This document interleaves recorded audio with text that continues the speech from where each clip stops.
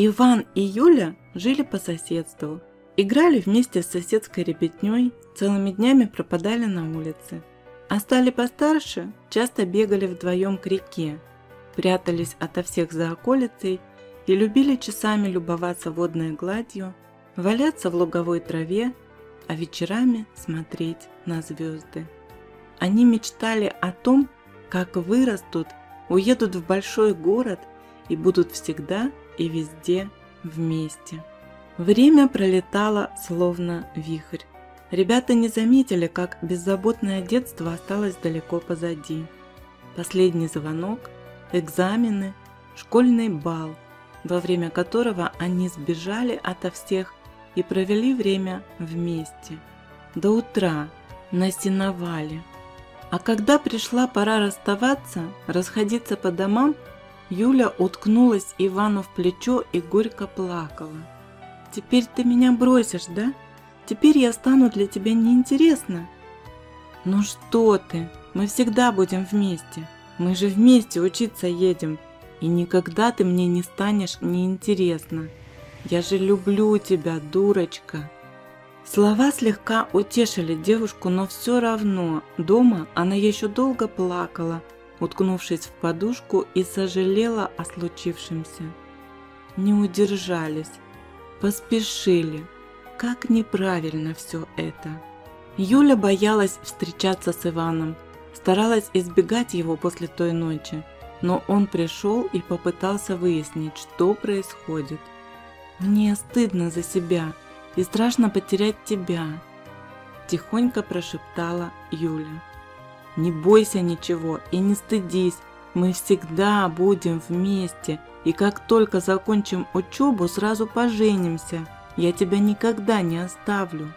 И снова разум верил, а сердце почему-то билось в тревоге. И не напрасно. Перед самым отъездом ребят Юлина бабушка, которая воспитывала ее почти с рождения после гибели родителей, серьезно заболела. «Инсульт», – сообщили врачи. Женщине потребуется постоянный уход. Слова звучали словно приговор.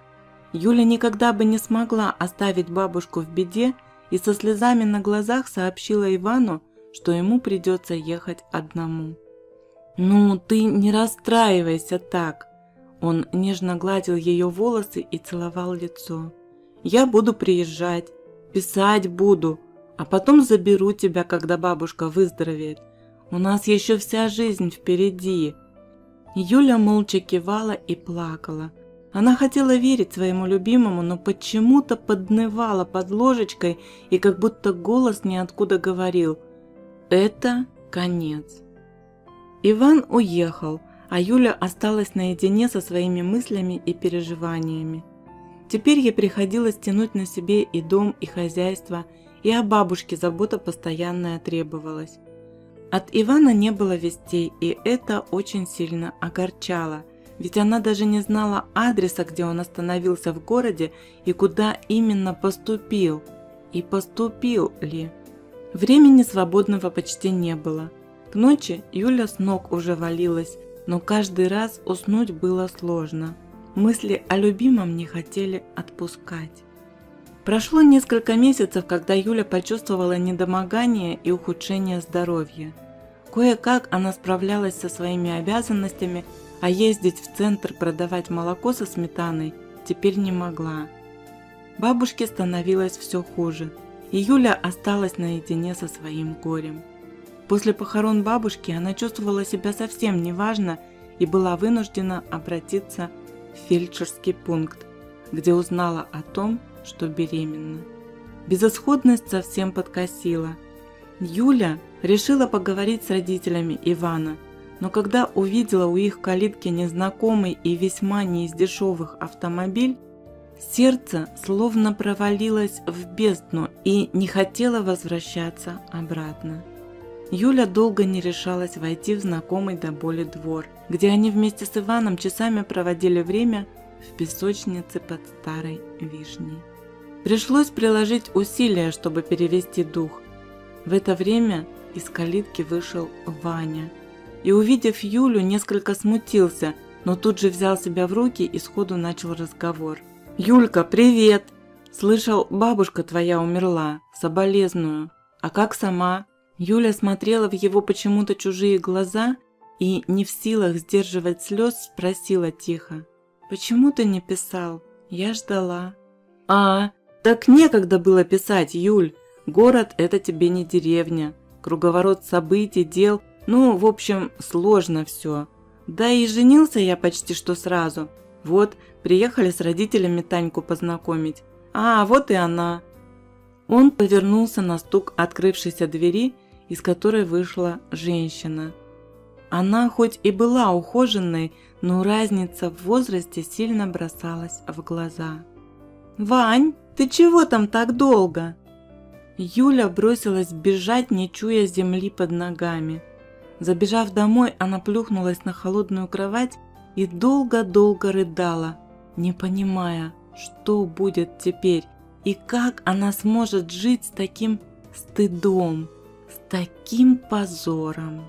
Очень скоро после приезда Ивана его родители продали дом и перебрались в город. Юля родила дочь. Соседские старушки помогали ей чем могли, а она помогала им. Так и жили. Молодежь вся разъехалась из деревни, а через несколько лет поля за околицей выкупил предприниматель из города, построил теплицы и начали выращивать зелень. Появились рабочие места, и Юля тоже не осталась без работы. За дочкой приглядывала соседка, и однажды, когда Юля вернулась домой, баба Маня сообщила, что днем на пороге нарисовался Иван. Спрашивал, где Юля – но соседка ответила, что делать ему нечего здесь. Юля замужем и дочка вот у них. Он с женой-то развелся, продолжила бабушка Маня, а Юля старалась удерживать непрошенные слезы. Так вот, стерва она еще та оказалась. Деньги-то родители его за дом ей отдали. Ну, будто в бизнес вложить, в доле быть. А она профукала их и теперь скитаются по съемному жилью и Ваня, и родители его. Вот такая она жизнь, вздохнула бабушка-соседка. Юля долго вспоминала все прекрасные моменты, проведенные рядом с Иваном. А когда дочка уснула, она побежала к реке, остановилась у дерева, под которым они так любили сидеть, обнявшись, и, прислонившись к стволу, горько заплакала. Владелец теплиц с самого начала положил на Юлю глаз, как говорится. Женщина она серьезная, красавица, каких поискать, да и покладистая, видно было по всему. Но Юля не давала и шанса на надежду. Андрей не унывал. Он всегда был веселым и доброжелательным. И постепенно Юля начала к нему приглядываться. Дочка уже выросла, в город собиралась уехать. «Ну чего тебе одной здесь куковать?» Твердили на перебой соседки. Андрей мужик серьезный, ответственный. Неужели не поняла за столько лет, что ради тебя он тут бывает часто так? Не рви душу мужику, да и себе тоже. Сколько можно страдать по кобелю этому? Неужели еще и простить решишься? Не знаю. Он же ведь не знал про Дашеньку. А знал бы, может, все по-другому бы было. Женщины переживали – даже ставки делали. Даст Юля Андрею согласие или все же так и будет ждать Ромео своего? И вот настал решающий день. Вернее вечер, когда Андрей не смело постучался к Юле в дверь. Даша, дочка, была в городе с подружками, в кино. Уже вернуться должна была, и Юля начинала волноваться. Андрей принес огромный букет алых роз и бутылку шампанского. «Юля», – осторожно начал он, – «я, как ты знаешь, давно люблю тебя. Таких, как ты, в жизни не встречал, но ждать становится невыносимо. Мы не первый год с тобой знакомы, и поверь, намерения мои очень серьезные. Выходи за меня. Я весь мир к твоим ногам брошу. Ты будешь как за каменной стеной. Не молчи только». Юля подумала, что уже на самом деле ждать-то нечего, и лучшего мужа, чем Андрей, ей не встретить. Да и оставаться одной в этой глухомане было грустнее грустного. Она решила, что да, согласится, как вдруг в окно ярко засветили фары подъехавшего автомобиля, и Юля бросилась во двор. Даша! Сердце ёкало внутри, всю грудь сколола. Она боялась, что с дочерью что-то случилось.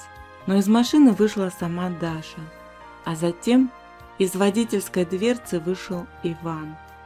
Дочь подбежала к матери, дрожа, как листик на ветру. «Мама, почему ты врала мне, что мой отец погиб? Я верила тебе, мне он был нужен. Как же ты могла?» Юля не могла найти ответ. Иван подошел ближе и тихо заговорил. «Я когда увидел Дашу в городе, случайно, сердце остановилось и, казалось, не продолжит биться вновь. Думал, с ума сошел, ведь она твоя копия тех наших лет с тобой. Я приезжал к тебе много лет назад, но баба Маня сказала, что ты замужем. Я поверил, что дочь твоего мужа. Если бы я знал. Не представляешь, Юля, как я сожалею о том поступке.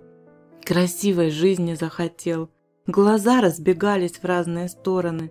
Но очень скоро понял, что настоящую любовь, которую дарила ты, уже никто не сможет дать. Никто не умеет так любить. Танька лишила нас всего, но я смог подняться. День и ночь пахал, не давал себе отдыха. Недавно квартиру купили. У меня есть теперь все, но нет любви, нет тебя, нет дочери.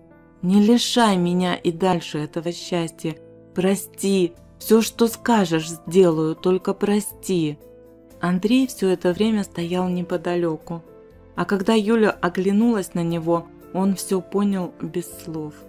«Желаю счастья в личной жизни», – тихо, но четко сказал и зашагал очень быстро вдоль полей, нервно срывая на ходу травинки. А Иван поднял Юлю на руки и долго кружил, а потом вот так, не отпуская ее, побежал к реке на их любимое местечко. Домой они вернулись только утром, счастливые и влюбленные – Словно и не было этих долгих лет разлуки, этих бесконечных слез по ночам. А через 9 месяцев Юля родила сына своему законному мужу Ивану, который продолжал носить ее на руках и дарить нежность и любовь за все упущенные годы.